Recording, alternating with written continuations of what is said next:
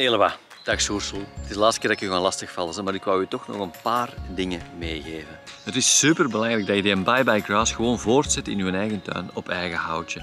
Die bestuivende insecten die hebben het de laatste jaren zo moeilijk gehad, die zijn zo geslonken in aantallen, dat we die keihard moeten ondersteunen. En alle kleine beetjes helpen. Had je niet meteen heel veel effect, geen erg, ik geef je direct een paar tips. Maar een paar dingen moet je weten. Als er veel gras groeit, gewoon gras en geen bloemetjes, dan wil dat zeggen dat uw gazon nog goed bemest geweest is. Het kan zijn dat je vorig jaar nog, nog meststoffen opgegooid hebt en dan groeit er eigenlijk heel goed gras op. Maar geen kruiden. Kruiden die hebben eigenlijk een armere bodem nodig, die hebben eigenlijk een schrale bodem nodig. Dus hoe meer dat, dat bemest is geweest, hoe meer gras, hoe schraler, hoe armer de bodem, hoe gemakkelijker dat er bloemetjes in groeien.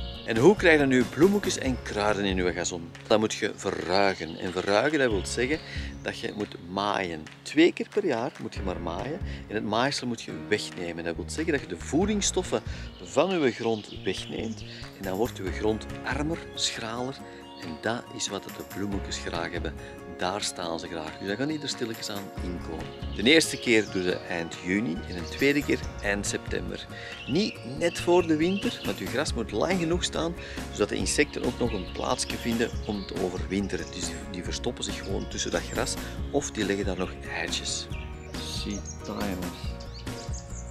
vind ik echt fantastisch.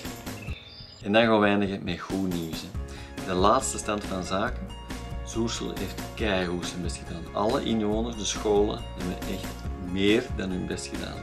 Als we gaan kijken op de pagina van Bye Bye Grass, kunnen we het aantal vierkante meters zien die verruigd zijn. Hè.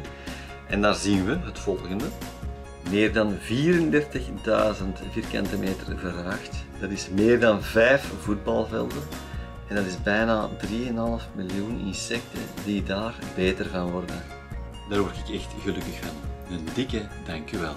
En gewoon blijven volhouden. Gewoon jaar na jaar en meer en meer. Moest u vierkante meters nog niet hebben ingevuld? Doen hè. Joe.